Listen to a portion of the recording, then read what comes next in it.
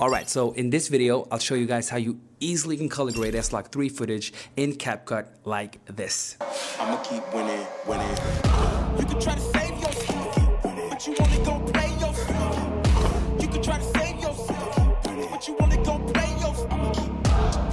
Alright, so this is the clip that we're working with today. This is shot in S-Log 3 on my Sony a7 IV Picture Profile 8 at default settings. So after importing your footage, you can go to the adjustments here and then you can add a LUT. These two LUTs are my free LUTs that you can download, a link in the description below.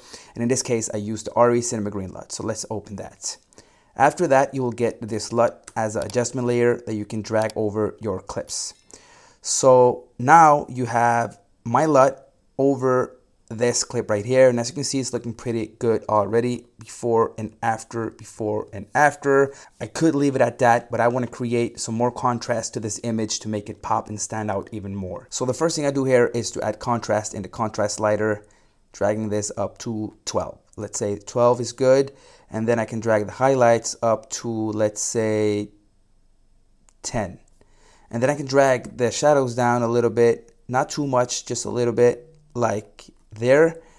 And I basically think this looks really good already, but I see that her skin tones is a little bit reddish and I don't like that. So what I could do is to go into the HSL and then go to the orange and then go to the hue here and drag this a little bit to the side. But this is way too much. And as you can see, I want this somewhere in the middle here, let's say 15 or maybe even 18. I think that looks pretty good. Boom. Yeah, look at her skin tones. They look more natural than it did before.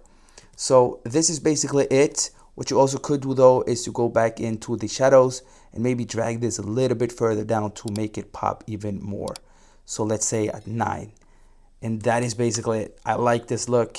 Pretty nice. I hope you enjoy this tutorial. If you have any questions, you know what to do. Thank you guys for watching. Have a great day keep winning, winning. You can try to